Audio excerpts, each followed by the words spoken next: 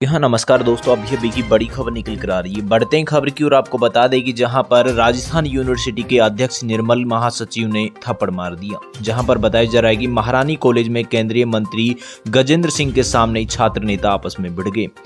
महारानी कॉलेज के छात्र संघ कार्यालय उद्घाटन कार्यक्रम में बड़ा बवाल हो गया है, जहाँ पर कार्यक्रम में राजस्थान यूनिवर्सिटी के अध्यक्ष निर्मल चौधरी को महासचिव अरविंद जाजडा ने थप्पड़ मार दिया।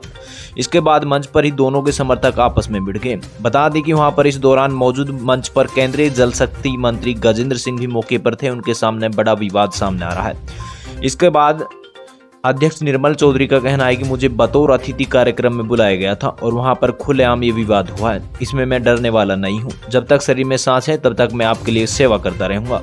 बताया जा रहा है महारानी कॉलेज के छात्र संघ कार्यालय का उद्घाटन केंद्रीय मंत्री गजेंद्र सिंह शेखावत ने किया।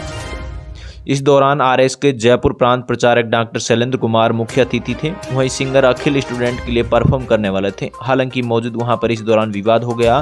काफ़ी देर समझाइश के बाद वहाँ से वो रवाना हो चुके हैं। फ़िलहाल पुलिस प्रशासन के इस विवाद को लेकर, किस कारण लेकर विवाद हुआ था, इसको लेकर अब पूछताछ की जा रही है। सो दोस्तों, प्रदेश भर की तमाम खबरों के लिए बने रहिए चैनल पर। नए विज़िट करें, चैनल को लाइक, शेयर, सब्सक्राइब करें। जय हिंद दोस्तों।